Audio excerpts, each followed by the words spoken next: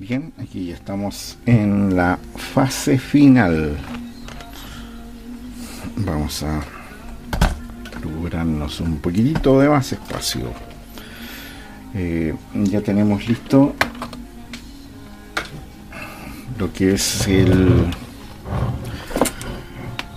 la etapa de RF, todo lo que es modulación. Hemos alterado ahí un poquito el todo el paso previo desde el DSP, pero mm, llevamos el circuito del,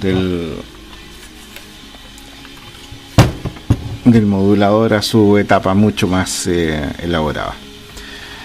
Aquí hubo un gran problema por el hecho de que el impreso estaba bastante dañado, así que reemplacé el, el chip final de los operacionales y mantuve, restauré, digamos, el, el impreso, pero, pero está bastante dañado. Así es que lo, lo, sellé con cera, eh, esto, esto con un poco de un simple calefactor, un, eh, un secador de pelo podría eventualmente derretir esto y incluso uno con el dedo puede sacarlo. No, no, no tiene ningún, ningún problema. Los transitores finales ya los cambiamos. Oh, se notó, se notó la diferencia. Eh, la etapa eh, sale muy bien. Anoche tuve un gran contacto, muy largo, con un buen amigo eh, C5 Romeo, Foxtrot Romeo, Ricardo.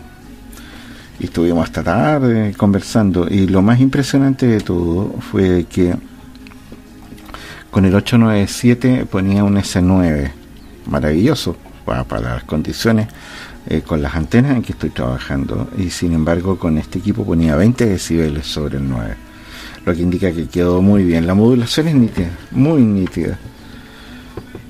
Así es que está listo, pues. Bien, ahí estamos por el tapón de 100 watts. Vamos a irnos a 1800. Enter 0, 1, 8, 0, 0, 0. Ok, estamos en banda lateral inferior. Hola, hola, hola, 1, 2, 3, 4. Eso es la potencia máxima. El equipo tiene una condición de eh, máxima potencia en las bandas bajas de, de, de 160 los 40. Tiene un ajuste very high power. De ahí en adelante se mantiene solamente en el ajuste de high power. Yo voy a llevarlo a mm, solamente a high power. Deberíamos tener un promedio de 125 watts. Hola, hola, 1, 2, 3, 4. Y ahí la aguja no. Estoy bastante. A ver, estoy más o menos como una pulgada separado del micrófono y vemos que el equipo la, cómodamente eh, pica hasta los, o, los 80 watts 80 90 watts hola hola 1 2 3 4 ya no tenemos esa resistencia absurda de, mm, de shunt vamos a ir ahora a 0 3 6 0 0 Hola, hola, vamos a ver los 80, tenemos 60, hola. Picamos hasta los 100 watts cómodamente en la modulación. Eh, vamos a ver la sonda ahora, la lectura al equipo.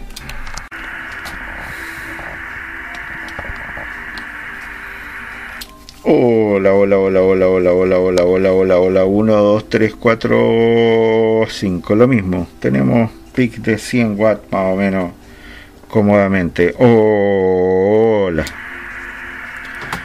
En los 12.000 estamos entonces llegando a los 12.000. Vamos ahora. 19.800. Hola. Hola 1, 2, 3. 19.800. Hola. Vamos a ir a mirar el wattmetro. Hola, hola, hola. 19.800. Hola. Espectacular. Es impresionante, en verdad, cómo empuja la etapa final de esta cosa.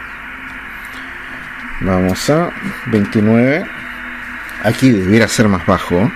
Hola, hola, hola, hola. 1, 2, 3, 4. Hola. Vamos a ver qué nos dice el wattmetro. Hola, hola, hola, hola, hola. 1, 2, 3, 4. Nos está dando valores RMS de aproximadamente. Hola. 40 50 watts, lo que nos están indicando una tensión peak to peak de unos 100 watts más o menos.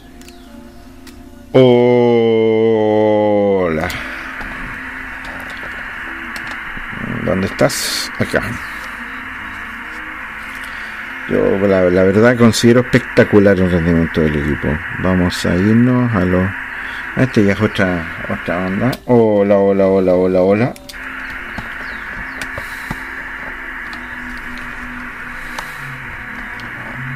Hola, hola, hola, hola. 1, 2, 3, 4, 5, 6. Hola. Si miramos ahora el metro del equipo. Hola, hola, hola. 1, 2, 3, 4, 5, 6. Estamos viendo más o menos eh, piques de 60, 70 watts RMS en este momento en, eh, en la banda de los 11 metros. O las 70 watts dice el wattmetro y más o menos lo mismo está dando la escala relativa. Eso, eh, eso es bueno, digamos, porque tenemos una lectura bastante fidedigna en el equipo. Y ah, francamente el, rendimiento de la, de la etapa final, como yo esperaba, es extraordinario. Eh, sencillamente extraordinario. Eh, vamos a ver ahora, vamos a llevarnos el equipo a los 19.800 y vamos a monitorear en audio para que vean ustedes la calidad del audio. Hola, hola, hola, hola, 1, 2, 3, 4, 5, 6, 7, 8, 9, 10, bastante acoplado está.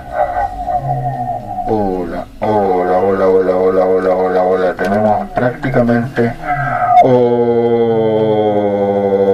la 90-100 watts en el wattmetro en los piques y la modulación muy nítida. Hola hola hola hola 1 2 3 4 yo creo que para la prueba vamos a pasarlo a medium. Hola hola 1 2 3 4 5 6 y aquí tenemos la modulación. Hola hola, hola. Hola, 1, 2, 3, 4, 5, 6. Esto es Upper Side Band y mm, ya no hay prácticamente nada de distorsión en la, en la transmisión. Sumamente acoplado puesto que la ganancia del micrófono es muy alta, pero eh, extraordinaria la calidad del audio. Bueno, y ahí tenemos entonces el el resultado final. Admirable, o sea, sí, es impresionante. Pero si yo antes de esto em, tenía dentro de mis favoritos el BX 1700, eh, ahora yo puedo refrendarlo. En comparación a muchos equipos que me llegan de esta generación, de este tipo, creo que lejos supera a la gran mayoría de ellos, incluyendo el 718 si usted tiene la posibilidad, estimado colega, de elegir entre un BX 1700 y un IC718, yo a, ojos cerrados le digo váyase por el, por el Vertex, pero a ojos cerrados. De, en términos de calidad y precio, eh, andan por ahí incluso, este es mucho más económico La recepción es, tiene una cualidad muy especial, muy, muy, parecida a la que tenía el, el FT747, en donde sin tanta parafernalia de filtros y demás cosas, en realidad el equipo eh, tiene una sensibilidad óptima. El atenuador es el mejor, es el mejor aliado en condiciones de ruido de estos equipos. Uno atenúa 20 decibeles decae el ruido considerablemente, sube un poquitito el volumen y comienza a escuchar entonces al corresponsal con absoluta claridad, con 20 decibeles de atenuación sobre la etapa de entrada y eso es muy muy muy bueno. Em, bueno, aquí no solamente hay calidad de ingenieros en Japón, sino que hay sabiduría en diseño de equipos de radio y creo que este equipo la cumple, plenamente plenamente. Es un gran sucesor del 747 FTC 80, sintonía continua. El que quiera jugar con modos digitales tiene el equipo ideal acá. Eh, no hablemos de las unidades opcionales de, de Cell Code ni las de encriptación para llamado eh, Private Code, pero mm, hay un, universo para jugar con este aparato, no me cabe la menor duda. Y una etapa de, potencia sólida que francamente no requiere el más mínimo trucaje. O sea, tratar de trucar este equipo es un crimen. Quien truca los equipos es un criminal. Porque mm, un equipo se puede sacar lo mejor de él sin tener que intervenir y deteriorar el, eh, las tarjetas, como desafortunadamente fue lo, que ocurrió aquí, llenando de cemento eh, parches innecesarios, en verdad, absolutamente innecesarios. Basta un poco de cera si uno quiere proteger el, el impreso de, de, las intervenciones acumuladas más las que uno ha hecho por repararlo eh, un poco de cera nada más. Esa cosa sale con un secador de pelos, pero cementar por una idea que ni siquiera es propia, fue copiada de la internet, francamente es una aberración. No, no es profesionalismo eso. Bien amigos, eh, termino entonces el video. Aquí está la bestia, listo para enfrentar nuevos retos en, en el mundo del DX. Que estén todos muy bien, un fuerte abrazo y será hasta el próximo.